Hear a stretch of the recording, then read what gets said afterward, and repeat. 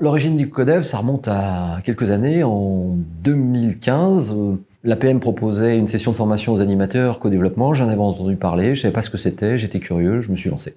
Je me suis rendu compte que ça avait beaucoup de bénéfices. Le premier bénéfice, c'est que ça créait du lien, du liant. Et puis, en fin de compte, c'était un format hyper court. Et le sujet des dirigeants à l'APM, c'est qu'ils n'ont jamais suffisamment de temps. Donc, sur un format d'une heure, d'une heure et demie, on arrive à traiter les vrais sujets, les sujets des dirigeants. C'est-à-dire que dans une journée classique, on a un expert qui intervient, mais quelquefois, l'expert peut prendre pas mal de place et quand est-ce qu'on peut trouver du temps pour pouvoir échanger entre nous? Donc ce format, ça permet de développer le co-développement, la proximité, de l'empathie, et puis on traite les vrais sujets qui intéressent les gens parce que ce sont les sujets des adhérents. Il y a beaucoup de sujets autour du développement personnel, de la posture du dirigeant. Comment gérer mon boss? Comment gérer mon associé?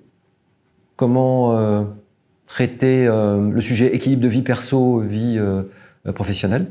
C'est super pratique, super adapté aux besoins des dirigeants, c'est court, et ça produit des effets incroyables. Donc ce serait ballot de s'en passer.